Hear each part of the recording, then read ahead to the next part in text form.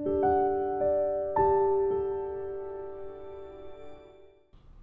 everyone, my name is Sarah and I'm a registered clinical counselor in the province of BC um, and the manager of mental wellness programs at the YMCA of Greater Vancouver.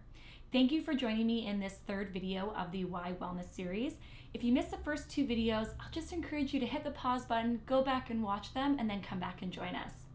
Y Wellness is a series of eight short videos that focus on providing education and information on the framework of acceptance and commitment therapy, also known as ACT. In the most recent video, I focused on the ACT core concept of connecting with the present moment, including breaking down what this means and how we practice it. In today's video, I'm going to dive further into the concept of acceptance and how this strategy can help us when we're in distress. Acceptance is the opposite to avoidance. So it means actively acknowledging the internal experiences that we have thoughts, emotions, and physical sensations in our body. Now, this probably sounds familiar to the last video on connecting with the present moment, but acceptance goes one step further.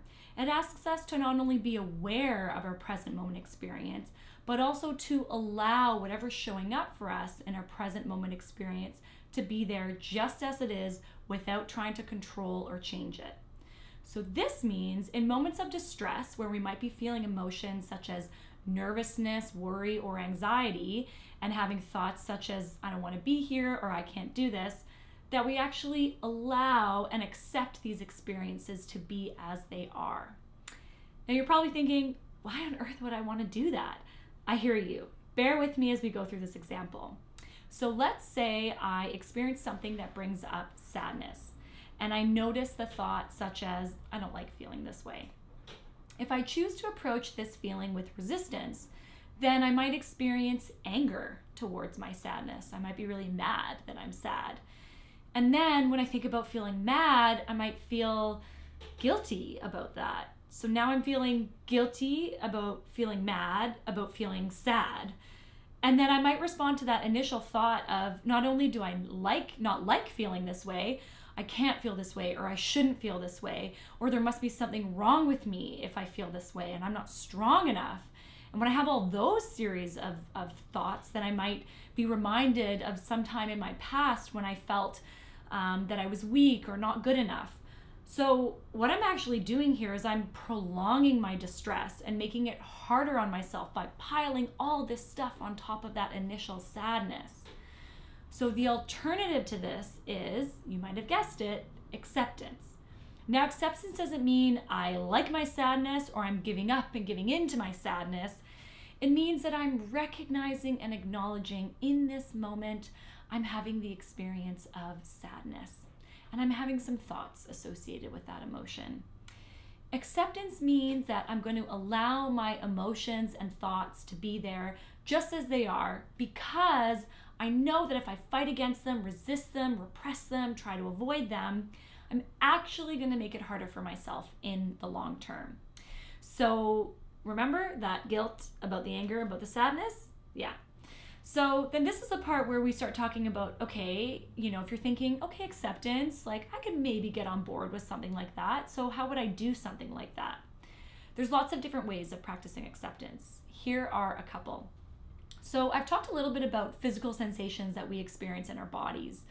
One of the ways to practice acceptance is to notice what's happening in your body when that distressing thought or emotion comes up.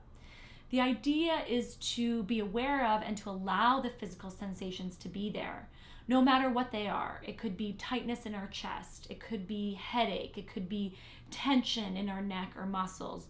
We might even notice that our body actually moves and responds to certain emotions. So often, sadness comes up and we might kind of do something like this, or anger comes up and we kind of might, do something like this.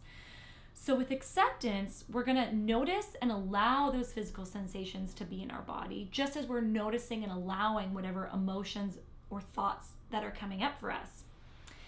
Another way of practicing acceptance is to um, respond to yourself the way you would a friend or loved one if they were struggling. So, um, oftentimes, if we know someone who's having a tough time, we probably wouldn't say, Well, that's stupid, or you shouldn't feel that way. We would probably say something like, Oh, it sounds like you're going through a really tough time, or I'm hearing that you, you're trying your best in this really difficult circumstance. So we can use that same kindness and compassion as we approach ourselves, and that can help us with acceptance. We usually tend to approach ourselves with a lot of criticism and judgment, and you shouldn't do this way, and you're wrong, and you're bad, and on and on and on. Instead, we can say, I'm really struggling with this. You know, I'm, I'm feeling this sadness, and it's, it's really uncomfortable. So, again, these two acceptance strategies are identifying and allowing those physical sensations to be in our body, just as we identify and allow the thoughts and emotions. And then, secondly, to approach ourselves with kindness and compassion, just as we would when we respond to a friend or loved one who is struggling. So, I encourage you to try out these acceptance strategies for yourself and see what you notice. And I just want to say one more thing before we wrap up today's video. Acceptance is about making space for your internal experiences. It's not about accepting things that might be happening to you externally that are wrong or bad. It's not just about blindly accepting everything. It's actually about accepting internally how you might be responding to some of that conflict or struggle. So, accepting the thoughts, emotions, and physical sensations inwardly as opposed to accepting everything outwardly. So, we're going to wrap up this video on acceptance. Thanks so much for joining me in this Y Wellness series. Um, stay tuned for the next video where I break down the ACT strategy of defusion. My name is Sarah. Thanks for joining.